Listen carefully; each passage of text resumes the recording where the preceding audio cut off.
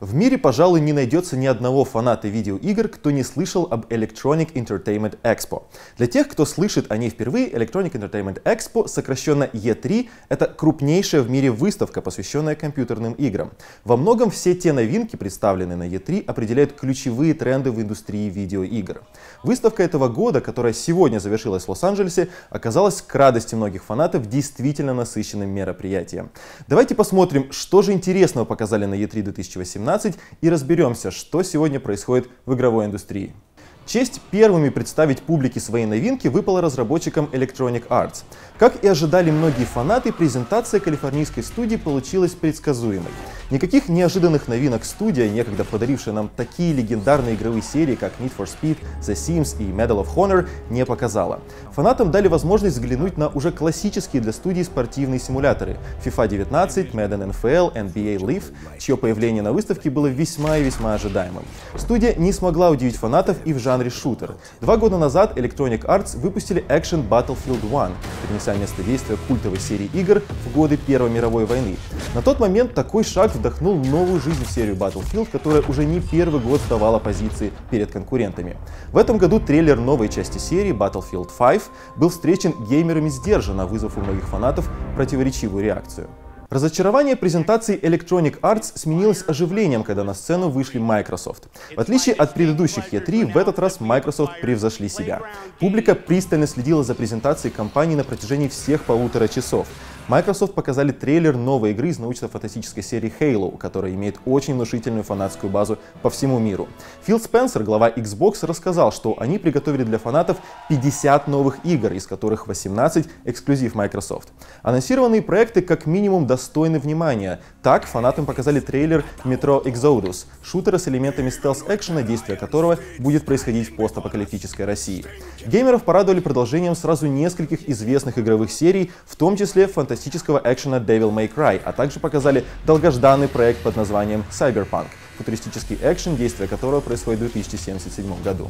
Microsoft задали своим коллегам по цеху действительно высокую планку, однако следующему участнику E3, студии Bethesda, удалось оправдать ожидания многих фанатов.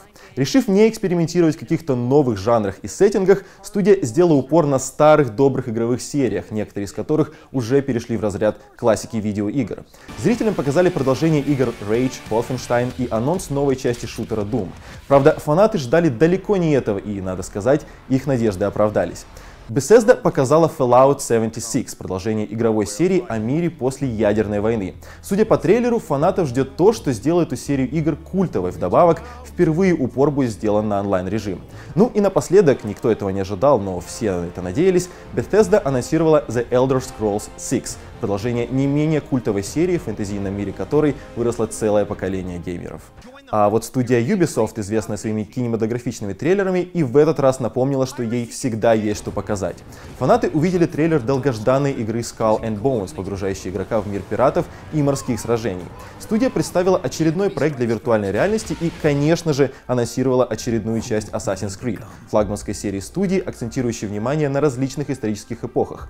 После успеха предыдущей части, место действия которой происходило в Древнем Египте, создатели решили перенести игроков во времена античной Греции. Греции. Завершилась конференция долгожданной презентацией Sony. Хотя было сразу заявлено, что громких анонсов ждать не стоит, презентация студии уже по традиции вышла действительно эффектной. Зрители встретили на ура сиквел постапокалиптической игры The Last of Us, ставшей одной из самых успешных игр для игровых приставок PlayStation. На презентации свой проект представила и японская компания Capcom, которая продолжает эксперименты со своей, пожалуй, главной игровой серией. На этот раз студия решила не изобретать ничего нового, а вернуться к истокам. На конференции был представлен ремейк ремейк культовой игры в жанре survival horror Resident Evil 2, трейлер которой зал встретил бурными овациями. Во многом кульминацией стала презентация долгожданного проекта Death Stranding. Ее автором является Хидео Кадзима, которого в Рунете уже окрестили не иначе как гением. Хотя трейлер игры и раскрыл некоторые детали, но фанаты все еще продолжают гадать, что будет собой представлять новое творение японского разработчика. Чем же запомнилась прошедшая выставка? Было показано действительно много, и если работы некоторых студий встретила сдержанная реакция, то презентация других, тех же Microsoft и Sony, даже превзошли ожидания многих. Говорить о перспективах каких-то новых игровых серий пока не приходится.